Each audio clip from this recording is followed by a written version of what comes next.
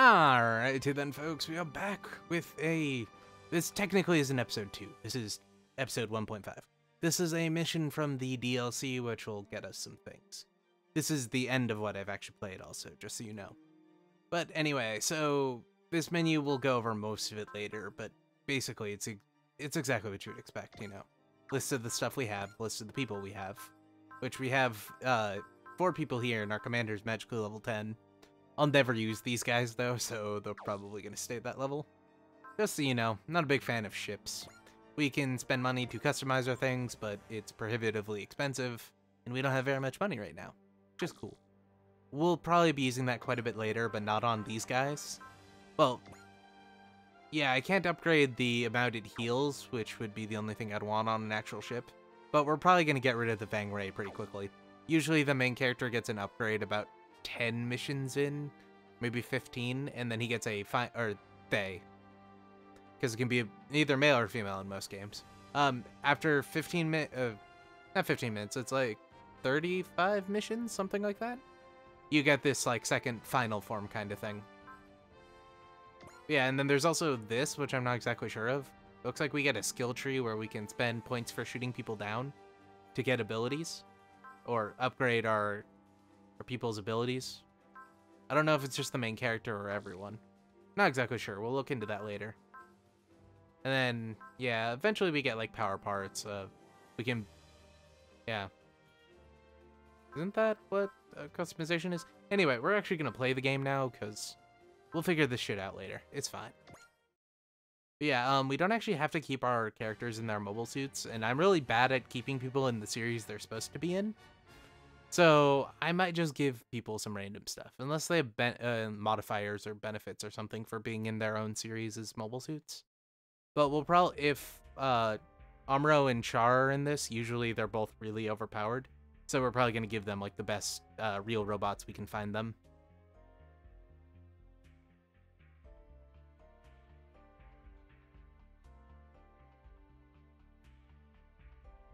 I mean, like, you might want to check the machine to see if they have orders or something.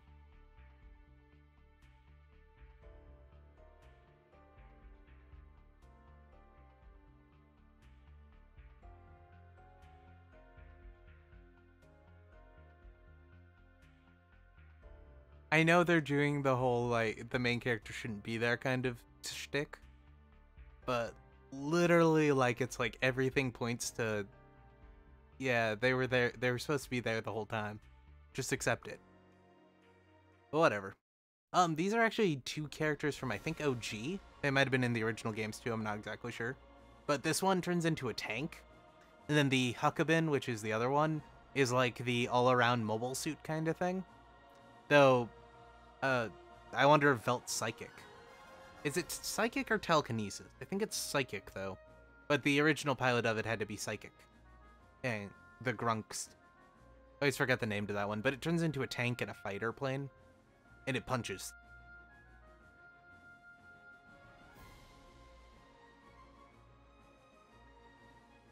I don't remember these characters, so I don't know if they were in the older games or not. They might have been, though. Hmm. Velvet text. Yeah, the Huckebein.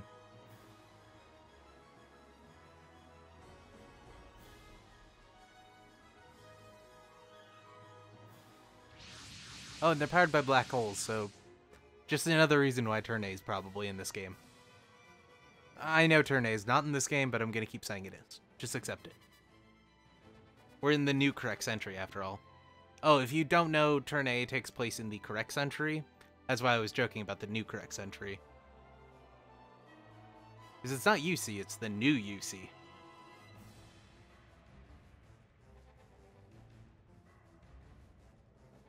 But I believe both of these units can move then attack. I might be wrong, though.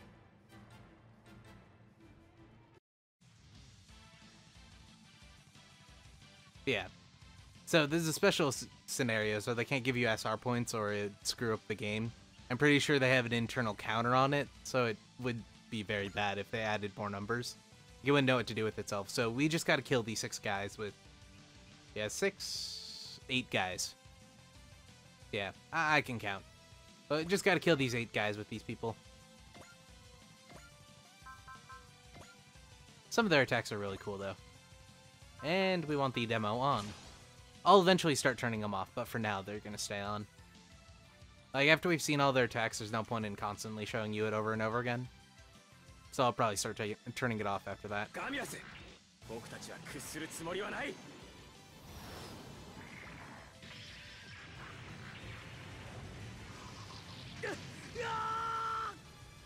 Alright, after this episode, we're going to turn the voice dialogue down a little bit. Probably back to where it was, because it's actually okay before.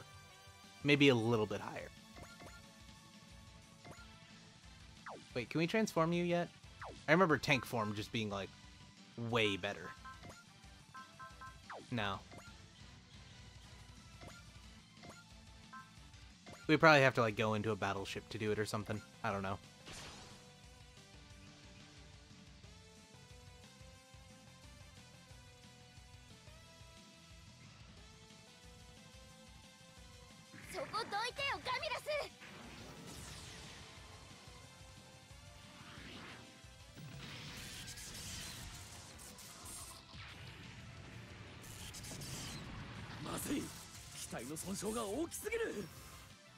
Sadly, rocket fists aren't an instant kill.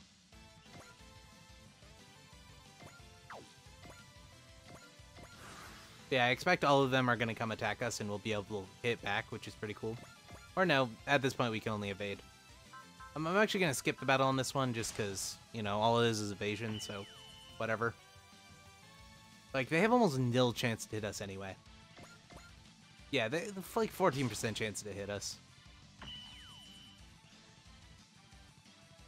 you guys want, I can start showing you guys them standing, or slightly dodging missiles, but eh. It's not gonna be that interesting. Oh, I didn't point this out in the last episode, but if you'll notice on their, their HP, there's energy. Oh wow, she actually got hit. What are the chances of that? Yeah, there's that bar that says energy underneath. Basically, the more we hit people, or the more attacks we do, the less energy we have. If you run out of energy, you can't do anything. But yeah, I'll, I'll, try to edit this down, all the voice dialogue down in post. But my bad, I thought it would be a little quieter than that.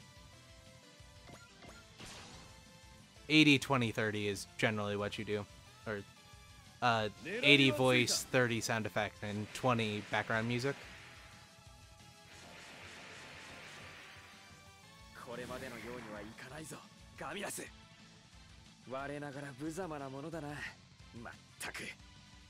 I'll play with it after this to figure it out. Yeah, so for the most part I've seen you can only do one counterattack, like you don't get to choose which counterattack you do. You just get one.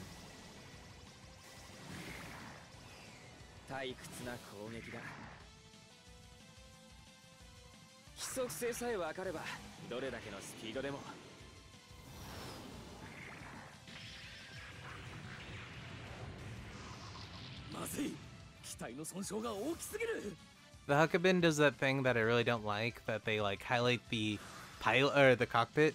You know, they painted it red for some reason. I really don't like that. Yeah, so the punch thing is, or no, that's the punch thing. We have a 1 to 2 attack range, which does the most damage. So apparently we, are we, oh, we're three spaces away. Sorry, that perspective was really weird. My bad. Let's actually go after this one. I'm pretty sure this will kill it, so shouldn't be a big deal.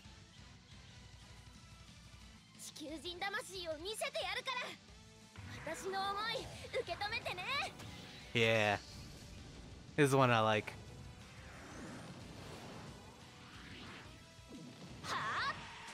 They don't have it.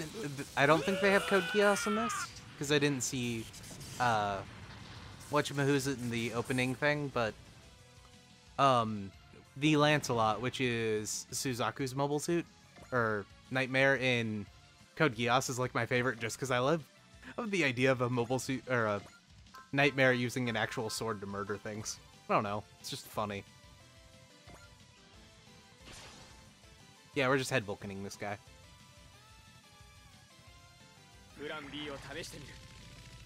Alright. Oh, that. Good to know. That makes uh, their mobility go down, but the reason I did that is I just wanted to see the animation. You'll notice I'll do that occasionally. I'm all about the pretty pictures, you.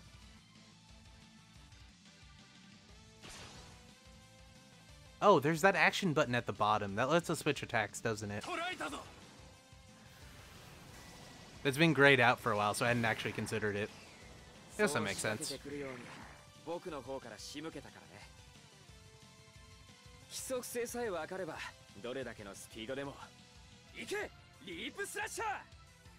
God. Oh hey his bits. Or not bits those things from uh, F91 I forgot what they're called. But the Rafflesia from F91 had those. They're basically death chakrams. They're really bullshit in UC Climax, though, because the only way to dodge it was to hope you didn't die. And they did that a lot. Oh no, we don't get to switch it. Spirit commands? Huh. Um, support, which is that other blacked out button, is counter uh, is support hitting with another unit. Oh, I should probably have skipped that. Oh well.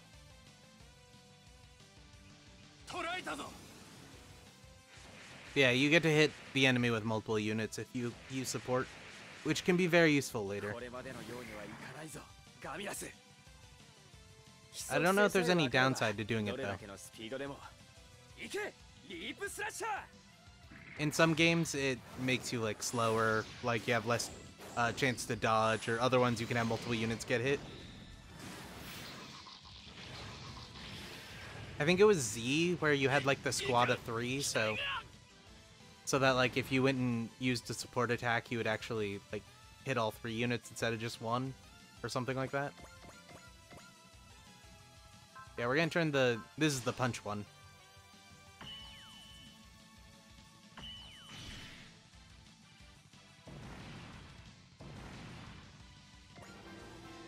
Yay, she leveled up too. We don't see how well she leveled up, we just know that she leveled up. And yeah. More Leap Slasher.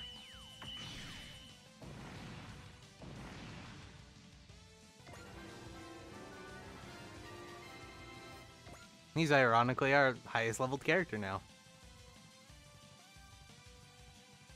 Mind you, that was like twice the units we fought in the other camp or the other battle, so yeah.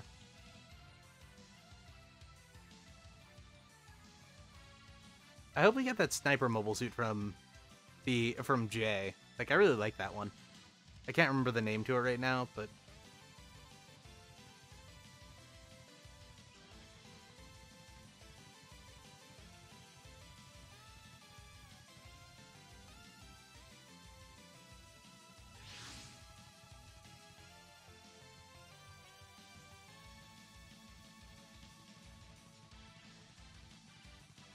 Didn't they just build that like last week? Do you already have an encyclopedic knowledge on it? Damn it.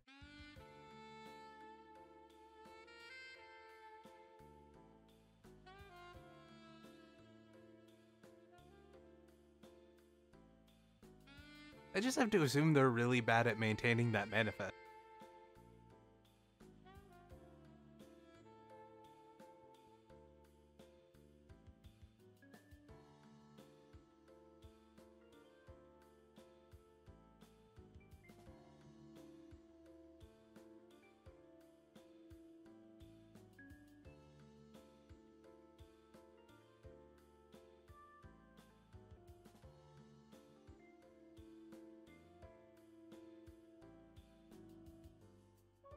Yay, we got parts.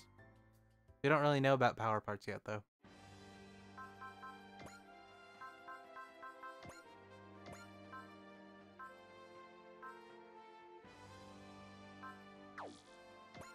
Yeah, do I need to explain, you know, equipment?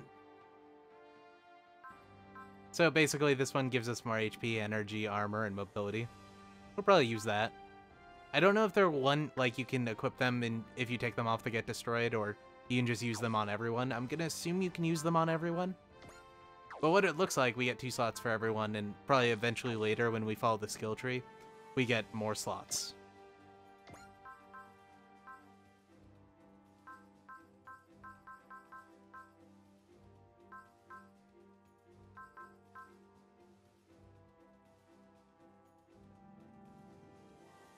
Oh, no. Those might be single use only. I thought optional parts were single use and then power parts were all the time. But anyway, folks, if you enjoyed the episode, you should like. If you didn't, you should dislike. We'll be back for more probably next week. I haven't decided yet. I don't know how the schedule's going. Um, but I hadn't said it in the last episode, but I meant to. Basically, I'm going to do about five episodes of this, see how it turns out. If I feel like it, I'll continue on. If not, I'll stop. Um, I haven't like I've completed Super Robot Wars games in the few in the past, but like usually it's I play it for a month or two, I get bored of it, I come back to it after like a while, I start over and then I beat it that time. So I don't know how it's to turn out. Anyway, folks, good night.